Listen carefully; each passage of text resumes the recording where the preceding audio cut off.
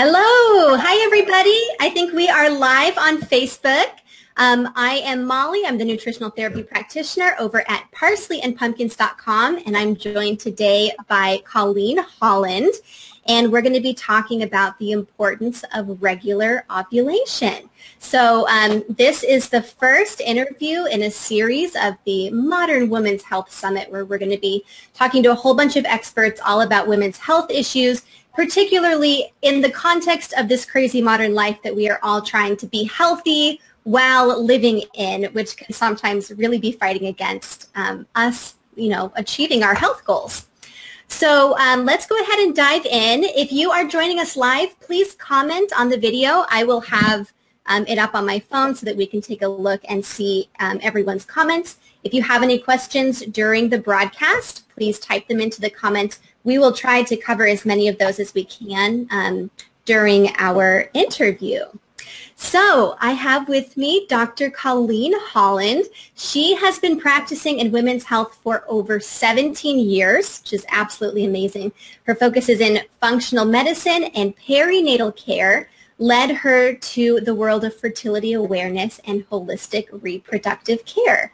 So Colleen's practice, Womb for Growth, WOMB, which is the cutest name I've ever heard for a fertility practice, specializes in functional reproductive health care, helping women with everything from painful periods to fertility challenges. And I have had the pleasure of working with Colleen on my own charts. She's teaching me how to chart my cycles and helping me get some information from that. And I can vouch for her just her amazing warm spirit and heart and her just profound knowledge in this area. So I'm really excited to get to talk to you, Colleen, and to share all this information with everyone watching. Thanks, Mollie. So uh, do you want to give us a little background on yourself, kind of what got you into working with women? I know you mentioned in your intro you used to be in perinatal care. Tell us a little bit about that. Yeah, I right out of chiropractic school, I knew that I wanted to focus on women who are in their fertile years. I love working with pregnant women and working with their babies and adjusting them. Working with that population, I began to see some real challenges um, with their health, in particular with their fertility.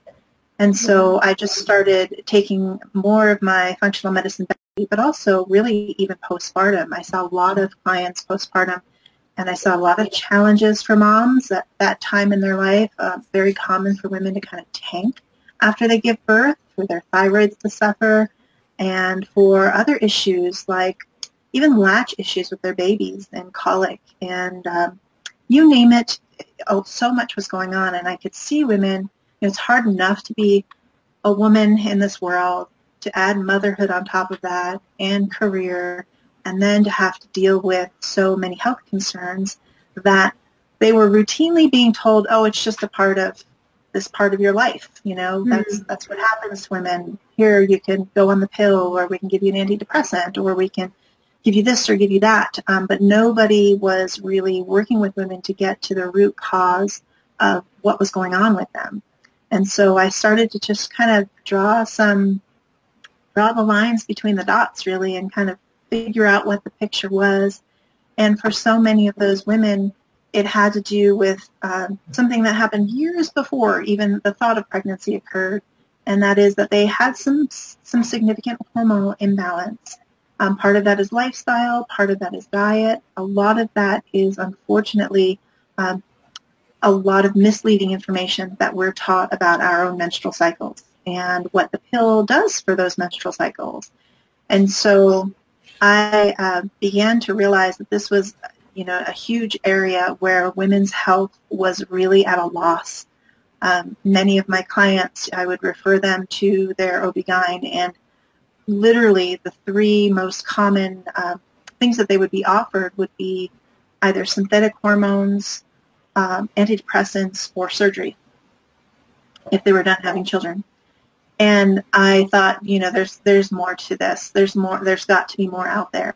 And so I just started looking to see what else could women rely on to help bring them balance and to improve their lives ultimately and their um, their families' lives as well. And so that's how I learned uh, or kind of got into womb care Uh, I studied Arvigo therapy and became a practitioner in that and added that to my practice. Obviously, nutrition is a foundational part. Mm-hmm. Um, and really just, you know, all the functional medicine looking at hormones, the hormone panels, and then trying to figure out how we can balance the hormones rather than just try to add more hormones in. Uh, and there are many reasons why the uh, former would be more uh, beneficial than the latter there. Yeah, yeah. So, so, you really got to see women in all stages of this from, you know, mm-hmm. before they got pregnant, during, and after. So you probably yeah. got to see a few women with, you know, their health, like you said, getting a little bit worse and then you tank right afterwards. That's a really cool uh, perspective to be able to have. It's it's uh, it's been a gift to actually be able to just sort of look back over my career and see that literally working with hundreds of women who have had some form of challenge and difficulty. Um, yeah, and I know we're going to get into some of the meat of that in a bit, but yeah, I'm, I'm very grateful for this path that I've gone down. You know, there, I don't have many colleagues who specialize in this area of health. And um, I truly feel like I have been called to this area of health. I've had my own issues with hormone balance and women's health issues. And each thing that I've learned, I bring to my practice. And so much of it is, is really just about educating women so that mm-hmm. they know the truth about how their bodies work and um, also know fully informed, uh, have fully informed consent about what they utilize to be able to help bring their body into, into balance again. Yeah, absolutely. Yeah, and so many people in this field do get into it because we've had challenges of our own and like you mentioned earlier, usually the only solutions offered are hormones, the birth control, antidepressants, or surgery. Um, mm-hmm. Surgery is, is offered probably a little bit more than it needs to for some of these hormone imbalances. Um, sure. There's a so, time and a place for all of those options, but yeah. really there's so much more we could be doing to avoid those more drastic options. Yeah, and like you said, being fully aware of what all of the options are so that at least you feel like you have a choice in what's happening to you, that you have had some education, you know what your options are, and you can make the choice that is, is best for you. I think a lot of women are, are even deprived that option of knowing what all of the options are and having the ability to choose. Mm-hmm. So for some people watching who maybe, you know, have not – uh, heard about their hormones since sex ed back in, you know, what, sixth grade when we had like a 30-minute workshop. Do you want to give us a little rundown, just a, a mini kind of um, refresher on the hormones we're going to be talking about today, where they fit in our cycle, and kind of their relationship to each other? Mm-hmm. Sure. So most most of us are familiar with the two main hormones that women uh, have throughout their cycle, estrogen and progesterone. And we have a few other hormones too. We also have testosterone, and we also have uh, other hormones like luteinizing hormone, and we have cortisol, and all of this plays a role in our endocrine balance or our cycle balance. But we'll talk about estrogen and progesterone since those are the main players. And estrogen is a, I'll probably repeat this a couple of times, but estrogen is a growth hormone. And so that's an important concept to get across. Uh, that's the hormone that is more prevalent in the beginning of our cycle. So once our period starts to calm down and, and finish, estrogen increases pretty dramatically until we hit ovulation. And that increase in estrogen is what helps to mature and grow the egg that will release for ovulation. It also helps to mature and grow the endometrial lining, really more proliferate the endometrial lining. Mm-hmm. Uh, and then it also has an effect on the cells of our cervix to help them to produce the cervical mucus that I'm sure we'll talk about at some point. Uh, but that's all part of fertility for us. And so estrogen works on the receptors to help to grow and proliferate. And we need a balance between estrogen and progesterone. Um, if we have all growth and proliferation, that can lead us uh, into, you know, uh, overgrowth and even out of control growth, things like cancer. Um, and we don't want that. So beautifully, nature balances it out. And once we ovulate, we actually create within our ovary, where the egg has been released, it becomes a temporary endocrine organ or endocrine gland, really. And it so starts.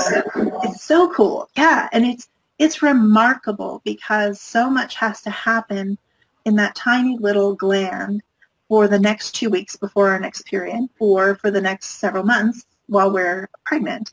Um, but yeah, the, the little endocrine gland makes a ton of progesterone, even more progesterone than uh, like level-wise than we make of estrogen. And so that goes to show you just how important the hormone progesterone is. So it balances out the estrogen. It stops the proliferation of, of the tissues that estrogen has sort of set in, in motion. And what it does is then it matures that those tissues that the estrogen has proliferated. So it kind of keeps the estrogen in check, and it's really necessary to be able to do that. Um, and then, you know, right before our period starts, if, if we do not conceive and our body is not getting the signal from a, a tiny embryo, then the corpus luteum, which is the little endocrine gland, the temporary endocrine gland in the ovary that is making the progesterone, if it's not getting a signal from a tiny little embryo, then it will know the cycle is over. It's going to close up shop, shut down, and then a new cycle will begin. So progesterone production stops fairly abruptly, and then uh, we'll see uh, a reflection of that. If you're taking your temperatures every morning, your basal body temperatures, you're going to see your temperature drop, and that's a direct reflection of that of that progesterone dropping because progesterone is a like an incubator hormone, progestational. And so if we don't need that anymore, there's no little one to grow, then a new cycle will start. And then we start up again with estrogen and, and so on. So it's this cool. amazing cycle of checks and balances, yin and yang. Yeah, it, it is very cool. Yeah. So what really stood out, and I think that a lot of people don't realize, is that you only produce progesterone if you ovulate. That's the mm-hmm. only part in your cycle where you would ever even produce this hormone. Is that right? Right. There, there is a little bit of progesterone production from our adrenals, but it pales in comparison to what we produce within our ovaries. And what sure. we produce within our ovaries is really what we need. We need a lot of progesterone. Yeah. So without ovulation, we don't have that temporary endocrine gland, the corpus luteum, to produce the progesterone. So if we are not ovulatory, we're not making very much progesterone and that can create a number of issues. Um, you know, worst case scenarios to, um, you know, PMS and uh, symptoms. Most PMS symptoms are actually symptoms of low progesterone, including spotting, uh, uh, breast tenderness, mood irritability, anxiety, insomnia, things of that nature. Mm-hmm. Since we're on that topic, um, do you want to explain a little bit for people about um, the levels of progesterone as they relate to estrogen. I'm sure that some people listening have Googled what's going on for them and at some point have seen the phrase estrogen dominance. Um, sure. That sounds like it would be a good fit right here. Yeah, so estrogen dominant, so at various points in the cycle, it will really depend on what day in your cycle you are to talk about specific um, quantities of each hormone. But in general, the first half of our cycle is dominated by estrogen. Very little progesterone is being made, and that's fine. And then after ovulation, we obviously have that big uptake in our uptick in progesterone production. And so when we test for progesterone to see if someone has a sufficient level, we always want to test around seven days, seven to nine days after ovulation. And the thing is that we don't often unless we're charting our cycles, we don't know when that seven to nine days after ovulation is because many of us are not even aware of when we're ovulating. Mm-hmm. And so unfortunately, um, most providers will assume that women should be on a 28-day cycle. And so they will tell you to get a 21-day progesterone test. Yeah, which how many women have you met that have a perfect 28-day cycle? Very few. and it's perfectly healthy to have a 32-day cycle or a 26-day mm-hmm. cycle. And so when people tell me, oh, you know, I have all these symptoms, and their symptoms are screaming um, some estrogen dominance, some low progesterone, but my doctor did tests and all my hormones are fine. And I think, mm, no, it, your symptoms are telling you that you have hormone imbalance. And so it's likely that the test was just done at the wrong time, or you know symptoms trump any blood tests or urine tests or saliva tests, in my opinion, and I've done all of them over the years. So symptoms are always the most important to consider, and uh, we that's one of the reasons why I love teaching women to chart their cycles because we can actually utilize their cycle charts diagnostically, and that can be so valuable, and it's a mm-hmm. lot less mm-hmm. expensive and invasive than getting blood tests or urine tests or saliva tests. Yeah, so much less expensive.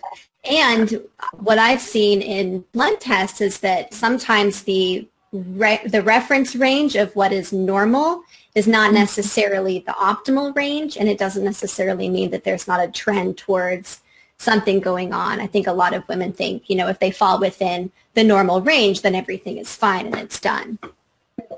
Yeah, and then it gives you just, you know, traditional labs give you a moment in time Mm-hmm. Whereas your chart will give you your entire cycle and a, you know what's going on throughout the cycle, which is so much more valuable.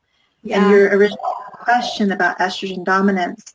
So we, we call it estrogen dominance. We can also call it, um, which is probably a little more accurate, call it a situation of unopposed estrogen.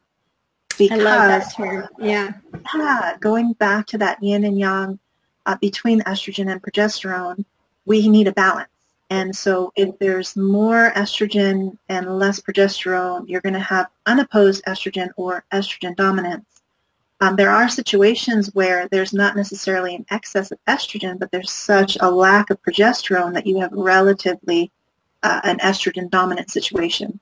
So yeah, unopposed estrogen. And it's very common uh, for a number of reasons for women to have estrogen dominance, one of which is because many of us don't realize we're not ovulating regularly and that's the big one. Um, the other is that uh, the hormonal contraceptives actually keep us from ovulating.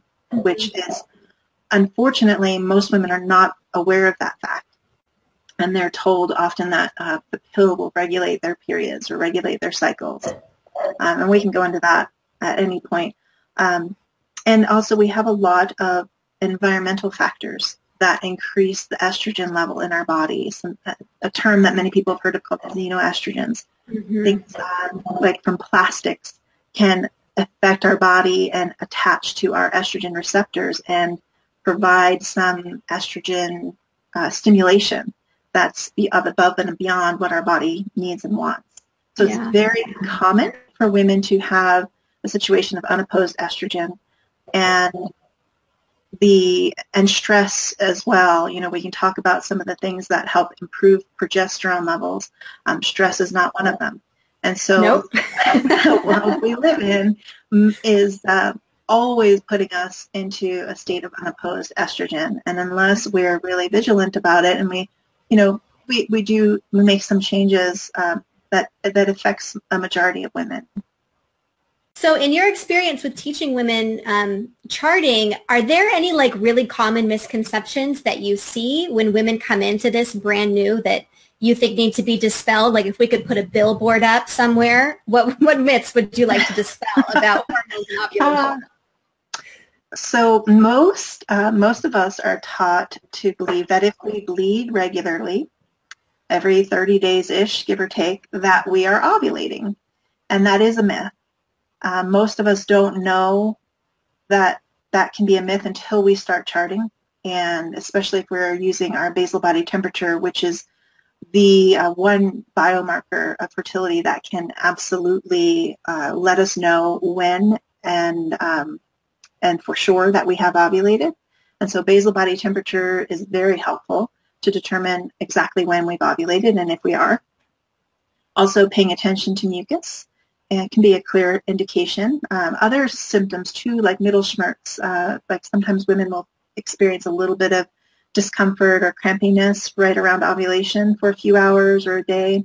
Uh, so we look at all sorts of biomarkers of fertility to help us determine if you are indeed ovulating. I know that there's been some research. Actually, one of uh, this, uh, Dr. Jerilynn Prior at the Center for Menstrual Cycle and Ovulatory Research in Canada great, great resource. She's done really the only the only research on women's menstrual health and ovulation. Uh, and she's published some great studies that look at a group of women who they were chosen for having regular cycles, being normal BMI, um, otherwise all other variables healthy. And she found that up to 30% of the women that they had in the study missed ovulation within the year of the study at some point. Oh. And so even despite thinking that they had regular periods and everything else was normal, either um, so to to clarify, up to 30% of the women had not ovulated by day 15, and these were women who had like regular 28, 29 day cycles, okay. or they had ovulated after that point, which would have made uh, for a short luteal phase and low progesterone. So without ever looking into this, we would not assume that those women would have any difficulty with ovulation or creating enough progesterone after ovulating. So it's just, it gives you pause and it makes you think, well, maybe it's worth looking at, do I ovulate regularly? Just that very simple fact uh, or that very simple inquiry into what's going on with your body can give you a lot of information. Yeah. Do you see that mirrored in your practice? Kind of the amount of people that are not ovulating when they think that they are? How common is it for women to not ovulate? Extremely common. Now, I will say that I am usually working with women who are trying to improve their cycles, so there, sure. there may be some bias there. Um, but uh, but yes, uh, and even myself, when I chart, I chart. I've been charting my cycles for years, and about once a year, I will notice an anovulatory cycle. Hmm. And it, I can usually figure out why. It's usually uh, around a stressful time or illness or something's going on, but it happens. And so I wouldn't know otherwise if I were not charting my cycles. Sure. So I would imagine something like that, you know, if there's something stressful going on and you just don't ovulate, is um, it happens. But for mm-hmm. someone who's regularly not ovulating, do you want to get into some of the um, the reasons why it's so important to be ovulating so that, you know, people kind of have a context for, well, why should I pay attention to this? Right. Great segue. Yeah. Um, it is common for, uh, you know, you to have a, a one-off cycle where you don't ovulate and it's not a catastrophic sort of thing. It happens from time to time. Life is life. Um, but if it's happening pretty frequently, if you're having symptoms of low progesterone, um, so we talked about the fact that you don't really make much progesterone unless you ovulate. And so if you're having some of those symptoms, then it's time to look into what's going on. And so we start, I usually start with clients with charting first because it can give us so much information about uh, the, the, amount of progesterone, the amount of estrogen, and uh, when ovulation happens, if it happens, um, the benefits of ovulation and progesterone. So I'll step back for a moment and I'll just say that ovulation, regular ovulation, regular ovulatory cycles is a vital sign for women in their fertile years. If we're not regularly ovulating, then that is telling us that our health is somehow compromised or diminished. And so it's just a sign, just like if you were to have high blood pressure or uh, a really, you know, tachycardia, fast heart rate, or bradycardia, really low, like not sustainable heart rate. Uh, if your breathing wasn't healthy. Um, those are other vital signs. But for women, we have that fifth vital sign of ovulation. And so if we look at it from that point, then we want to see, okay, well, what does this, what does ovulation give to my health? And there are studies that will show you that uh, breast health, bone health, brain health, cardiovascular health are all dependent upon a healthy level of progesterone in relationship to estrogen. And so, you know, you can look at bone density studies, you can look at uh, atherosclerosis and cardiovascular studies, and obviously there are links to, um, you know, decreased progesterone and breast cancer rates. And so mm-hmm. remember we talked about estrogen being a growth hormone, yeah. and progesterone is the hormone that kind of keeps it in check. And so if you have all this growth without it being kept in check, um, and the, the specific gift that progesterone gives when it comes to tissue proliferation, the growth, is that it matures the tissue. It doesn't let it grow out of control, but it actually matures it and kind of keeps it in line. It's like you have a whole bunch of teenagers. You just let them go crazy.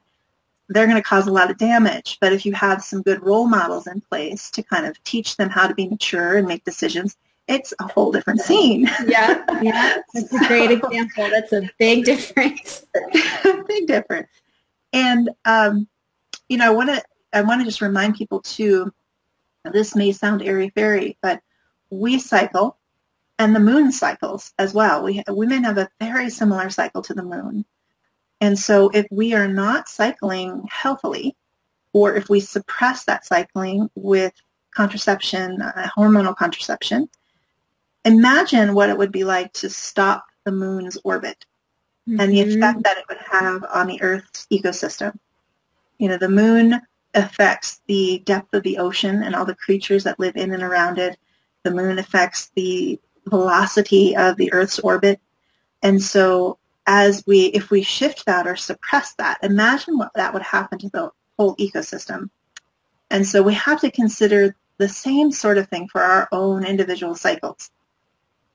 And so I've probably gone off on a bit of a tangent here. So feel free to bring yeah, me back. Yeah, that's great though. And um, I'll have to type into the comments the um, research um, organization that you mentioned and some of those okay. studies so that people can take a look further into those.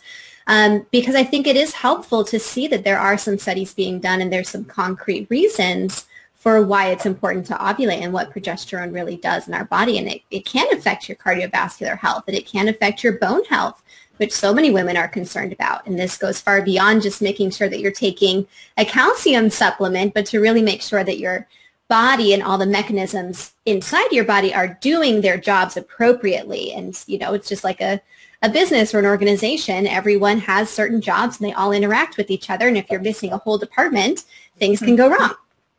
Exactly. Yeah. So if someone listening is wondering whether they ovulate, what are some signs that they could maybe start paying attention to um, in their next cycle to see if this is something going on for them? Yeah, so at the very least, I invite them to start taking their basal body temperature. And they can download a graph off of the uh, off the internet. They can make their own on a piece of graph paper and basically, most women fall between 97 degrees and 99 degrees. So if you want to make a, a graph and have it go from 97 to 99 and have uh, one graph space for every decimal after, or every uh, number after the decimal, uh, basically you want to take the your temperature at the same time each morning within, you know, a half hour, 45 minutes would be ideal. And you want to do it before you get out of bed and have the thermometer right there and uh, if I always I always recommend women hold the thermometer in their mouth for nine minutes before they turn it on, because then it will actually equilibrate to your body temperature versus whatever the room temperature is that it's sitting in all night. Mm-hmm. So that actually made a huge difference when you recommended that to me. I can see in my own charts that my temperatures are within a much shorter range than they used to be when I was just putting the thermometer in my mouth and taking the temperature right away. Yeah, that's great. So yeah, you can see that easily when you start taking your temperature. And I know as soon as the weather started turning here recently, we just had kind of like a drop in our temperature. The, you know, I, if I didn't take my temperature for 10 minutes every morning, it would look like my temperature was like 96 point something, you know, yeah. just really, really low. Um, so I ask them to hold it in their mouth for nine minutes. If it's digital, turn it on for a minute. If it's a non-digital, keep it in their mouth for 10 minutes usually takes about a minute for the thermometer to uh, to get to the temperature and, and ding or give you that little signal. And then just at the, you know, whenever you can during the day, just mark that down on your chart. And what you will look for if you're ovulating is you will see uh, a group of lower temperatures. And then after ovulation, that that temperature will actually increase by at least about a half a degree and you will literally see it on your graph. And then you will see after ovulation, that temperature will stay up pretty high. And then right before your next period starts, your temperature will drop low. And so just that very thing, if you can commit to that 10 minutes in the morning, and I, I joke with women, you know, like, set your snooze button. It's nine minutes long. Stick it in your mouth, fall back to sleep. That's exactly what I do, and it's great. yeah, and you get an extra nine minutes of sleep. Yeah. Um, and you can also do axillary, you can do vaginal temperature, whatever works most conveniently for the person. And just keep track of that. And you'll be amazed just by that information what your body can communicate to you. Um, mm-hmm. The amount or the number of days that your temperature stays high between ovulation and the start of your next period, that's going to be the length of your luteal phase. So that is the phase when the uh, egg is out and the corpus luteum, that temporary endocrine gland, is producing progesterone. And so you want to see that those number of days are somewhere around 12 to 15 days long. If it's a lot shorter than that, um, you know, usually the cutoff is about 10 days for luteal phase for us to feel like, okay, fertility is not too compromised. I would say ideal, though, is, is 12 days, 12 or more.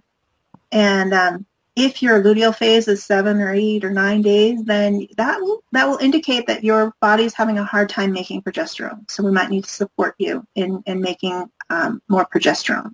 Mm-hmm. So before we get into some ways to produce more progesterone, do you, I know earlier you mentioned cervical fluid. Do you want to touch on that here as well? Sure. Yeah, that is, if you are, uh, you know, you're, you started taking your basal body temperature and you're like, I want to understand what's going on. I really want to dig in here and find out more about my fertility. Then I will welcome you to the world of cervical mucus charting, which is it is a world of cervical mucus charting, yeah. It is. It's it's not hard. There's a little bit of a learning curve just to learn um, what you're looking at and how to characterize it. But when you do, we can gather so much information. So here's what happens. We start our period and we bleed for, you know, three to seven days. And then bleeding stops. Generally, we want to see a few days where we don't have any bleeding or any mucus whatsoever. And for some people out there, um, and 10 years ago, this would have been me maybe 12 years ago, I had no idea what cervical mucus was. So I'll explain that too. so yeah. after we have our period and then a few days where we are not bleeding, we have no mucus, we enter our mucus phase. And what the mucus is representing is our increase in estrogen. Because earlier I talked about how estrogen stimulates the cells of the cervix to create mucus.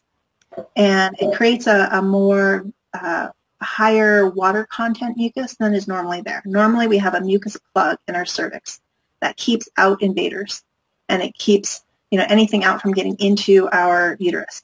But as we get close to ovulation, we actually want something to come into our uterus. Maybe not here, but uh, nature wants something to come to our uterus. Right. Yeah. So, your your health is going to keep doing this whether you're ready or not, but it's still a good sign to know. exactly. So our, our opening into our, our uterus, the cervix, opens up a little bit, and the mucus cells start to create, um, they, they, they go from a mucus plug that's thick to like a high water content, almost egg white, eventually, mucus.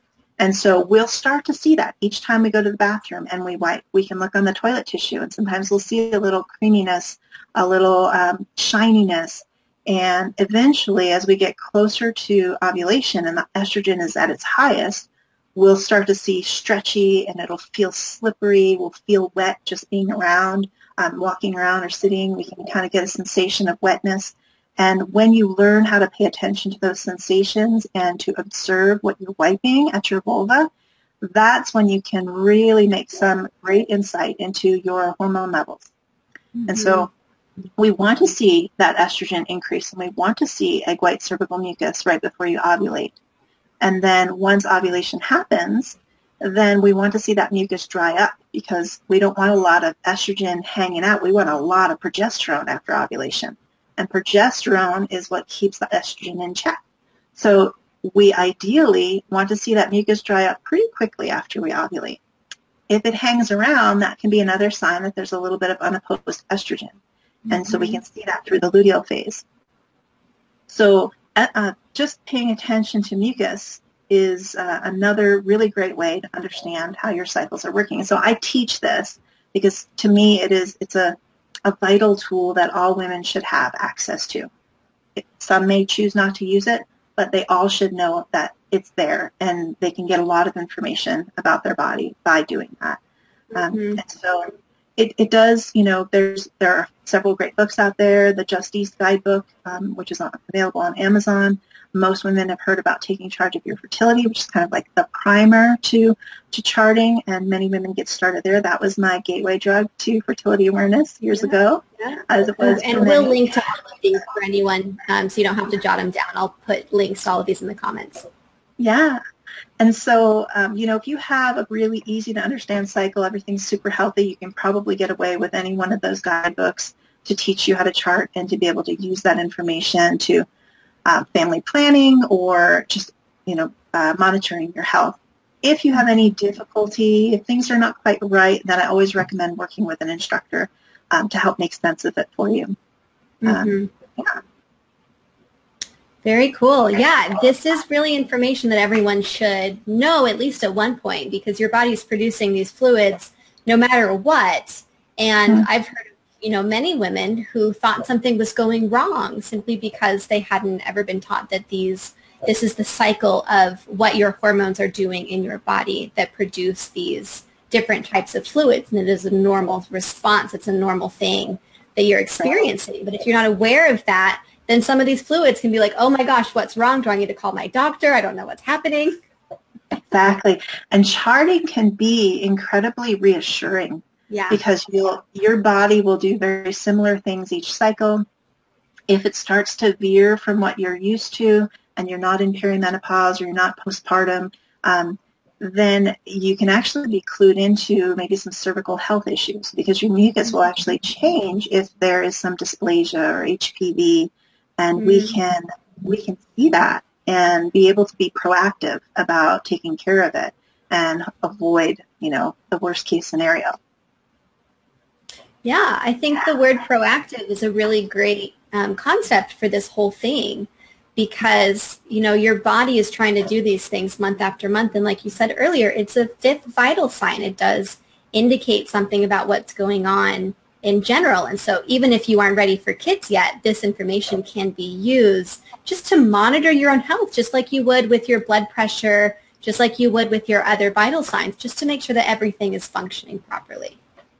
Mm-hmm. So do you want to tell us a little bit about how we can improve progesterone if someone has listened to this, they're going to go kind of start charting their temperatures, which if anyone's nervous, it, it can be a lot of fun. If you really enjoy data, I highly encourage you to give this a try. um, I've been doing it for almost a year now, and, and I really enjoy it. And it becomes a habit, and then it's not a big deal. Yeah, um, it's like like getting dressed in the morning. You just yeah. you don't even think about it anymore. But yeah, but it's it, uh, you're glad that you leave the house with clothes on. So exactly. Yes. In hindsight, you're for the day. Right. Um, so if someone sees, you know, starts paying attention to their, their cervical mucus and maybe they are suspecting low progesterone, what are some tips that we can give them to kind of boost that production? Mm-hmm. Yeah, so typically some of the foundational things that I talk about with clients are nutrition, of course, and gut health. And I know that's something you talk a lot about and work with your clients on. So I usually will refer them to you or to other nutrition therapists um, if they need a lot of help. Uh, but it, I can't underestimate or overestimate, sorry, I can't overestimate the importance of good nutrition. Our ovaries, you know, I talked about how incredible it is that they are able to switch from producing a ton of estrogen to a ton of progesterone within, you know, 24 hours, and then to be able to sustain that to potentially sustain a pregnancy. And if the, a pregnancy does occur, that corpus luteum will continue to produce progesterone for about three months until the, the placenta is developed enough and stable enough to take over that progesterone production because progesterone is so very important. So it does an amazing job and because it works so hard metabolically to be able to do that for us, it needs a lot of nutrients. And so if we are not digesting well or not getting the good nutrients into our into our stomachs, then um, that can affect the quality of our ovarian health and the quality of the corpus luteum, and therefore the amount of progesterone that it can form. Mm-hmm. Other things are stress, and we live in a stressful world, and this is a hard one for people. Sometimes they feel like they can't really change their day to day very much.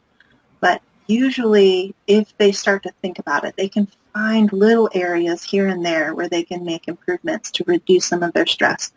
They can they can figure out how to say no to certain things, or they could uh, delegate things. And it's really vital to be able to start that process because women, especially myself included, we are so uh, we, we get so into doing things for others and making sure we're committing to and we're doing this and we're doing that and following through on this that we can overcommit tremendously.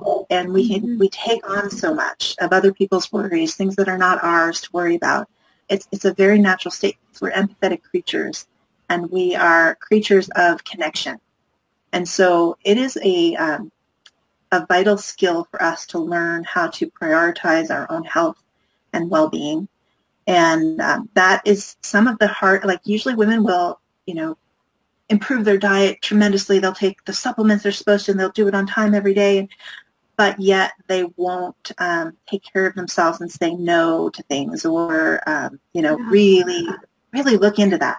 So I invite women to to really think about that and be honest with themselves and ask a good friend or someone to sit down and give them ideas. You know, how can I reduce this? How can I take this load off? I think that's very, very important. And when women figure out how to do that, they usually start to see some of some big benefits. Mm-hmm. Um, so those basic foundational things, they don't cost money. They just, you know, maybe they would if you hire a house cleaner, um, but it's worth it. if you can do it, you know, it's worth it. Um, but generally, there are things that are, are tangible that you can do.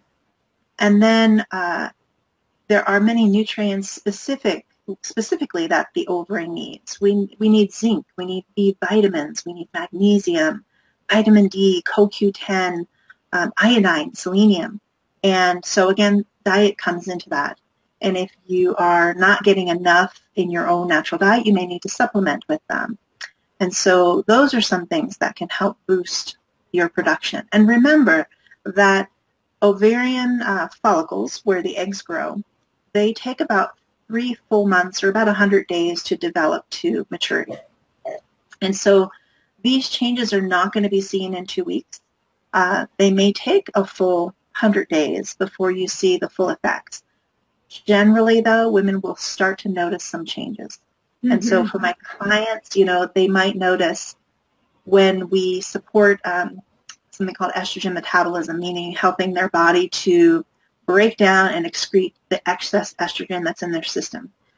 We do that with supporting their liver, a couple of supplements. Um, what they'll start to notice is that the luteal phase, where they used to have a lot of mucus hanging around, it will start to diminish and they'll have a lot less mucus. And um, they might only notice it once a day versus three or four times a day. Or, you know, they're having it every other day. Now they're having it once or twice a week. And so it'll start to make an impact. Um, and it, it can be gradual.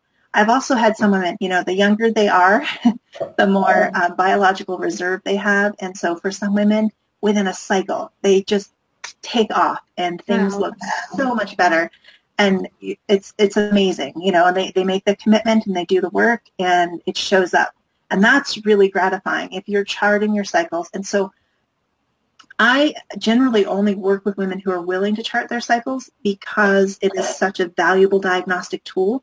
It's one of the few ways where we can really uh, be able to see the impact of the suggestions that we're making. Otherwise, I can make suggestions till we're blue in the face, and you know, we don't know if they're really helping. You know, we can tell by some symptoms, but we can often see from the chart before we even see with the symptoms. And I don't want you spending a ton of money on a supplement that isn't doing anything. So mm-hmm. we can see the reflection of the improvement there in the charts, then that is um, that's really valuable for me as a practitioner. But I think that my clients really love to get to see it's it's like feedback from their body. It's not me just telling them, no, this is good. The research says that this is going to help you. It's their body saying, this is good. This is helping me. Let's keep it up. yes, it's working. Mm-hmm. Yeah. Yes, and you get this skill for life that you can continue to use, and you're not paying for hormone testing every month. Because the mm-hmm. only other way, if you aren't charting your cycles or paying attention to symptoms, is to do the tests. And, you know, there are more tests available nowadays. Your doctor can do some. You can order things like that. But that's a pretty big expense. And to do that really more than once or twice a year could be pretty extreme. But with charting, you're able to see what's going on.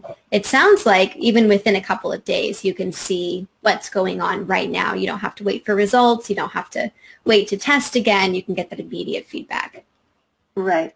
You know, there's a time, a times when uh, a test may be helpful, but in general, we still need to do all the foundational work and mm-hmm. the charting because without that, we, we're going to be lost in the weeds.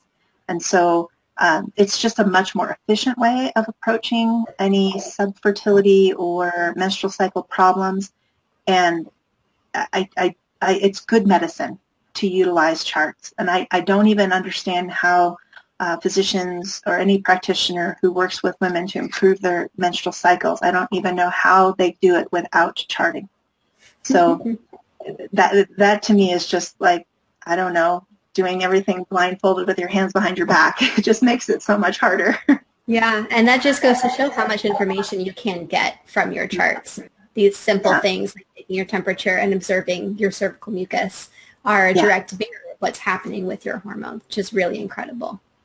Yeah, and I think that most of my clients are, even if they've been charting according to taking charge of your fertility, and have some um, experience with that, already some in- insight.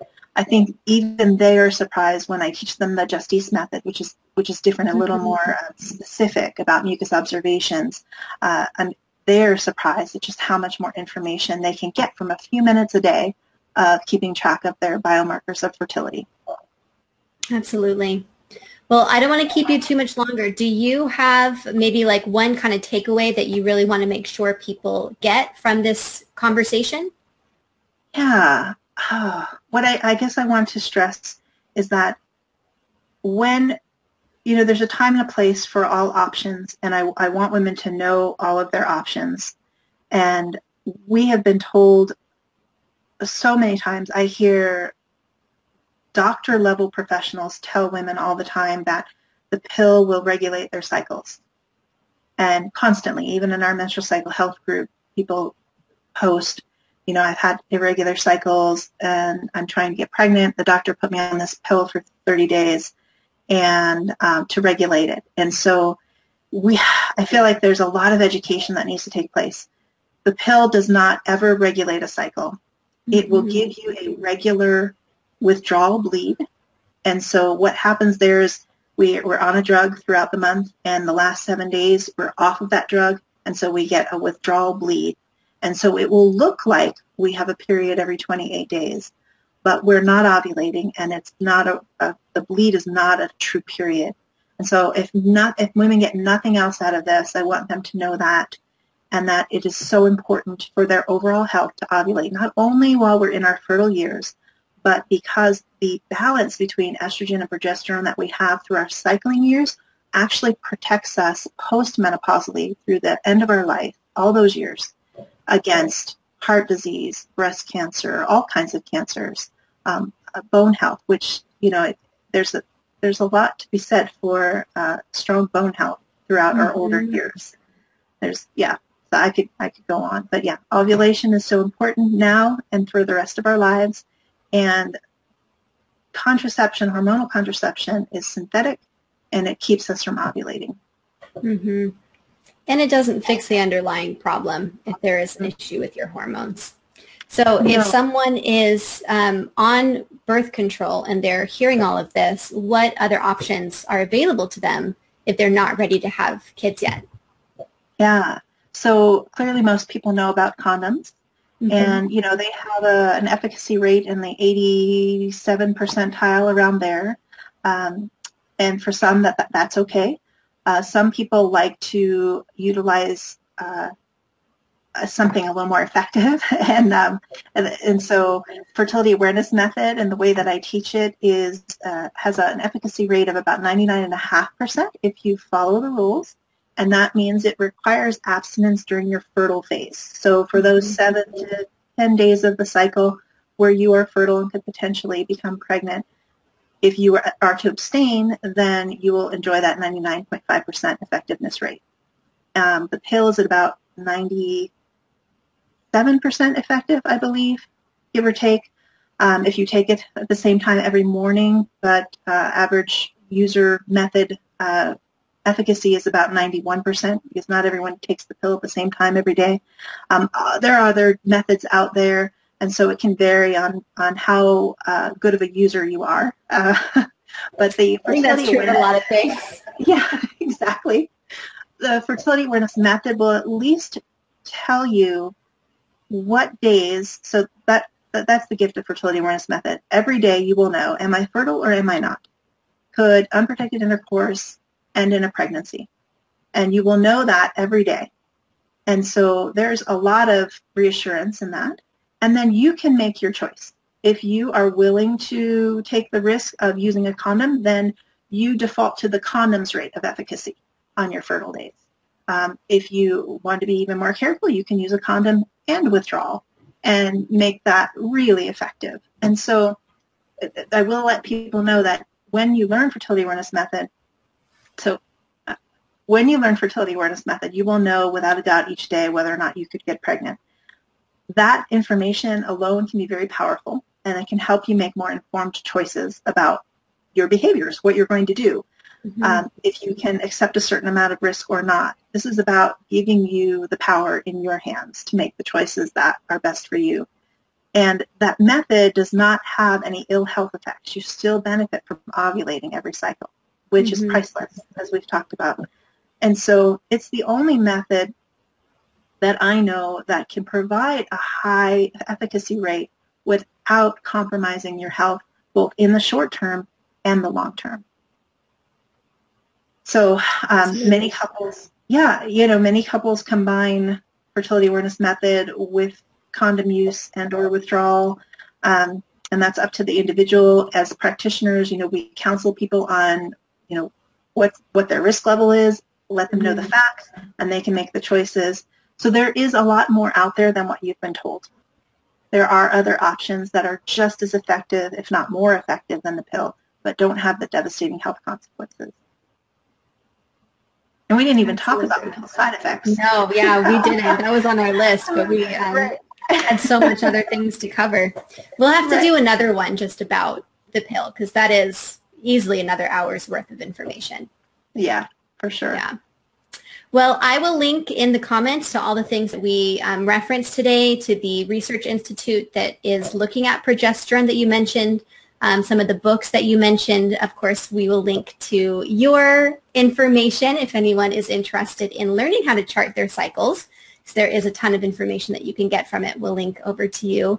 Um, and for anyone who's watching, so this was the first in a series of interviews all about modern day women's health and trying to be healthy amidst the chaos of our realities um, in what is often a um, culture that does not make it easy to just be healthy without some effort, um, which is unfortunate. So we're going to be talking all about different um, topics within that. And tomorrow I'm going to be interviewing um, Priscilla Johnson. She's a nutritional therapy practitioner about skin health finally getting clear skin by making some really simple dietary and nutrition changes. So I invite anyone to watch that um, tomorrow and to kind of watch the whole sequence because we're going to be talking about all different kinds of topics.